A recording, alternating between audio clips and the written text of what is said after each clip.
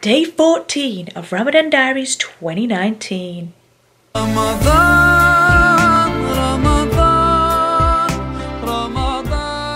I've eaten. Um, I had the same thing as yesterday. I had my kebabs, had my paratha and had some water. And I actually had some mint chocolate chip ice cream this morning. Don't ask why, I just was craving it.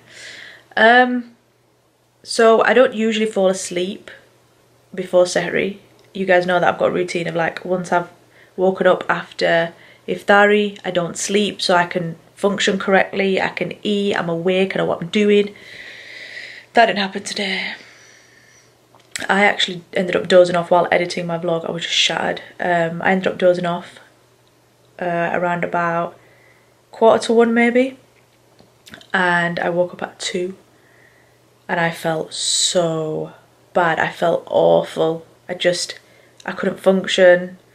I didn't want to move. I was lazy. I was just, I, I had to really force myself. I was struggling. I actually really had to force myself to actually come back downstairs and eat properly and that's another thing that's another reason why I don't sleep because I don't want to eat because I'm just so tired I'm just like nah don't want to eat I'm good um I feel a lot better now obviously I can function so that's actually one of the reasons why I didn't vlog in the kitchen or vlog me prepping the food or anything like that because I just I couldn't. I just could not do it. I, I can't explain the feeling. Um but yeah.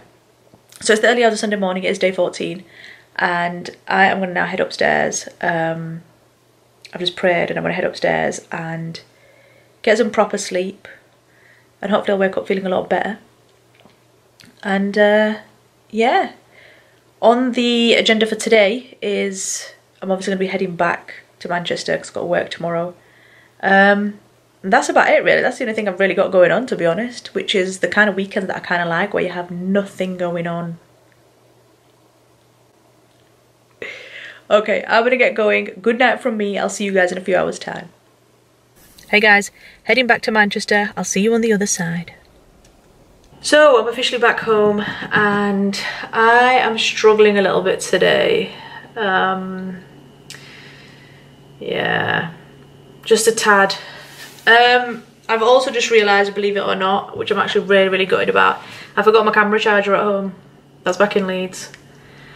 So I'm gonna have to think of something in order to continue these vlogs because without the charger, the battery's gonna die. I'm really devastated. I'm legit devastated. Hopefully a cable for something else will fit into my camera. I'm not 100% sure, only time will tell. I, for now, I'm just gonna kind of chill out. I'm, I'm, I'm struggling a tad today, just a tad. So gutted about my charger, I can't believe I've done that. Of all the things! it would be the charger. I should have, oh, and I kept double checking. I've packed my Mac, I've packed my Mac charger for editing, and I completely forgot the camera charger for filming or recording or whatever you want to call it. Ugh. Sad times. Allah.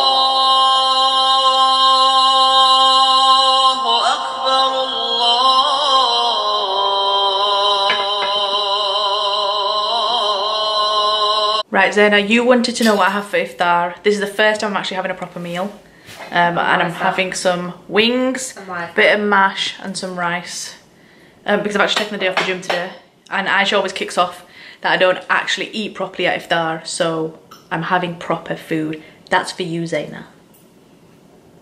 So I thought I would grab a vlog camera today and do a little bit of vlogging. So we've just done our iftari. So I think today is pro probably the first time that we've properly done um, iftari. Um, I really enjoyed it and yeah, it's been nice. Um, even though we live together, we hardly hardly spend any time together, so it's just nice to just chill and have our iftari together. And hopefully we are able to do our sehri together as well. So tired though, so tired. Okay, so that is day 14 complete, alhamdulillah, and in a few hours time we're going to be going into day 15, which is officially the halfway mark. Um, I was texting my friend today and she said it's insane how quickly they're going for you, and I said, I know. Um, they are flying by, and although that's great in one aspect, at the same time, I also want to kind of embrace the moment, embrace this month. You don't know what the future holds you know, inshallah, I'm hoping to be here for the next good few years of Ramadan, um, but you just don't know. So I want to kind of embrace this month, embrace the moment that I'm in, and embrace the fact that you know Allah's blessed me to actually be able to fast in 2019. So yeah, um, in terms of the fast in general, it was a difficult one today. I've not really struggled like I have today since after the first one. Um, in terms of the tiredness, I was struggling. In terms of the hunger, I was struggling. I was just struggling in general. I didn't really have a strenuous day, I didn't really do much today. I woke up, I washed my car, and then after that I got ready and came to Manchester. Like I didn't really have a difficult day, but the lack of sleep, the lack of energy, the lack of food and drink, I felt today out of all the days it actually took its toll on me. Um, I have got work in a few hours time and I feel like I'm going to have a knock-on effect in terms of the tiredness. So my sleep wasn't 100%. It was interrupted. It wasn't you know when you've had like a good even if you have like a good 15 minutes of hardcore sleep you feel great. Uh, no. It's like I was still awake but I was asleep. It was weird. But it's all good. We soldier on.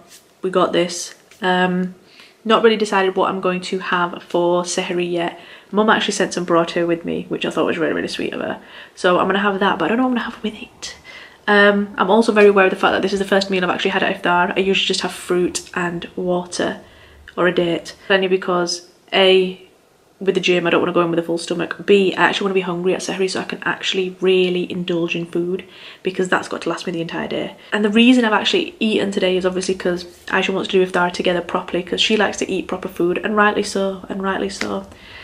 But the other reason is because she did have a point that as time's going to go on, you're just going to get weaker and weaker and you're not eating at all. So you need to actually physically put something into your body. So I, I got where she was coming from as well. Um, I mean, we'll see how we get. Something tells me that by 1, 2 o'clock I probably will be hungry again. I mean, it is only half 11 right now. Time will tell. Right, I'm to get going. I'm to edit and upload this vlog for you amazing people. I will see you guys at the beginning of day 15. Um, and yeah, bye from me for now.